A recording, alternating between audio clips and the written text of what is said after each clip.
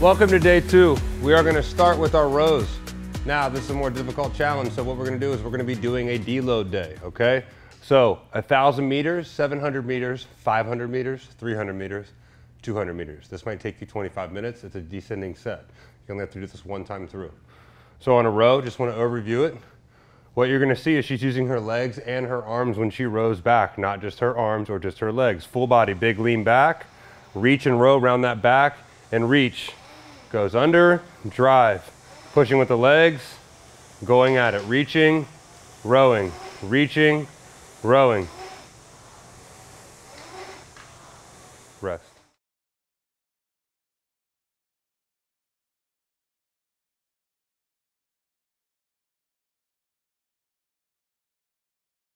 Our exercise for the day is you're going to do a steady state aerobic capacity. So aerobic, what I mean by that is you're not stressing your body enough to where you have lack of oxygen.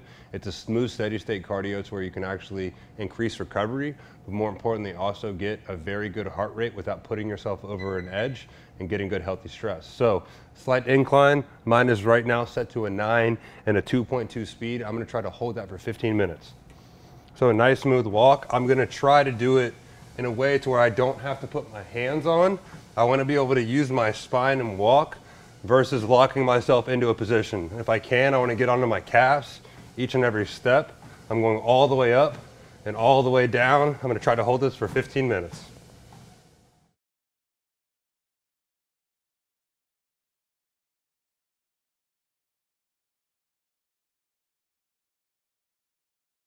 Our next superset is a pigeon and sitting on our feet. So it's a stretch. We're going to go two times through. We're going to do 45 seconds each leg and 45 seconds on our feet.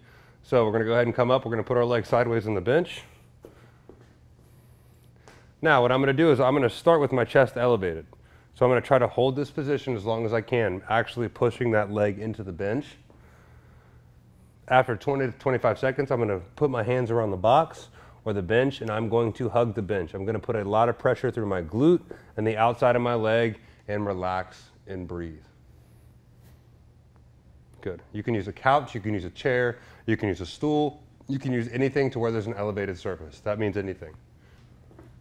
Our next exercise is we're sitting on our feet, the second part of this. So we're going to go ahead and go down. Now make sure we go sideways. You want to see how the foot is flat. It takes time to get to where she's at, which unlocks the patella, unlocks the quad, unlocks the top of the ankles. Now, if you can't do it, say I'm a chair, something in front, you're going to feel a twinge where you need it most. It could be the patella, it could be the quad, it could be the shin, or it could be the ankle. Gradually over time, you're going to be able to sit all the way down and back. You can use a chair or a stool to pull yourself back up and get into a comfortable position. If that's too much, you can lift one leg in front of you, put your foot in the ground, and you can take your time and go off one leg. So you can actually use the other leg to propel you up and back into the air. Rest.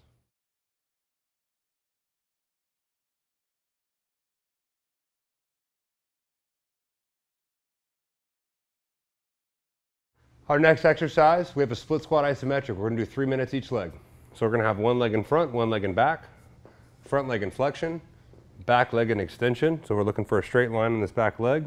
And we're gonna breathe and we're gonna hold. So put your foot in the ground. We're just relaxing today, trying to put breath back into the body, breathing through my stomach and lower back. We're gonna go three minutes with the left leg in front, and we're gonna switch and go three minutes with the right leg in front. I want you to focus on your breath and learning how to relax. This can be your meditation. Rest. Last but not least is dead hang. One of my favorite exercises. It's something I do every day. It decompresses the lower back. If those jelly donuts in your back are squirting through, meaning like you have the gel in your disc, if those are squirting through or they're compressed and your lower back's really tight, this is a good, easy way to pull that thing back out. So we're just gonna grab our hands on, find a nice comfortable position, and we're just gonna let ourselves relax. It is a lot of pressure through the back and the shoulder. If you need to, you can put your feet down on something and gradually let yourself relax. But in a perfect world, my feet are off the ground and everything is decompressing, tucking my chin, letting all the energy go in my back.